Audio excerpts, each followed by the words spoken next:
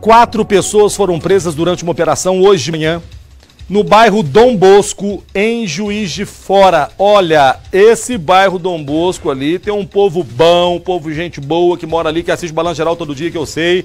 O problema é que tem uma turminha que gosta de fazer um forfé. E aí, a polícia está chegando junto.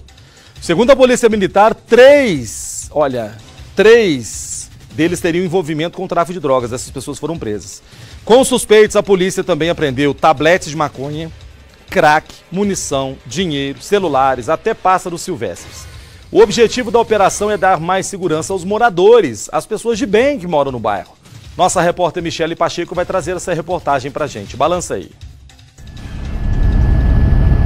A Operação Égide foi feita no bairro Dom Bosco, na região central de Juiz de Fora. Os policiais militares ocuparam as ruas estreitas e os escadões à procura de suspeitos de envolvimento com tráfico de drogas e outros crimes violentos. Planejamos essa operação, fizemos essa ocupação hoje com 122 policiais militares, 20 viaturas é, helicóptero, canil, justamente para quê? Mostrar para a comunidade que a Polícia Militar está atenta aos fatos que ocorrem aqui em Juiz de Fora e nós estamos dominando todos os bairros aqui. Não tem criminalidade aqui que a Polícia Militar não tenha conhecimento ou não esteja sob controle. A operação faz parte de uma série de ações que a Polícia Militar tem desenvolvido aqui no Dom Bosco desde o Carnaval. Vários bairros realizados nas ruas do bairro terminaram em tiros e problemas. Os moradores registraram alguns tumultos. Nos vídeos divulgados na época em redes sociais, é possível ver várias pessoas correndo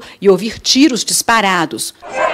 Olha lá, e aí, ó, rolando tiro aí, o bagulho tá doido, parceiro. Aí, ó. Olha isso lá tirando. Olha isso aí, ó.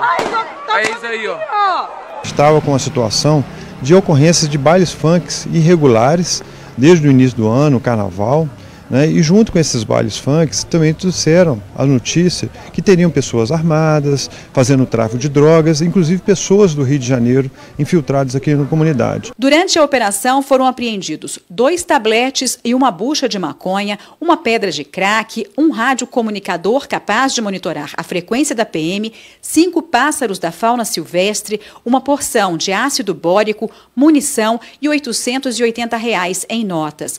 Quatro pessoas foram presas, três por tráfico de drogas e um jovem por ter mandado de prisão em aberto. A PM pede que a comunidade denuncie pessoas e situações suspeitas. É importante essa, a comunidade participar, trazendo informações para a gente, porque é através desse clamor, é através dessas informações que a gente planeja, né? a gente faz operações é, nesse nível aqui e traz essa sensação de segurança aqui para a comunidade.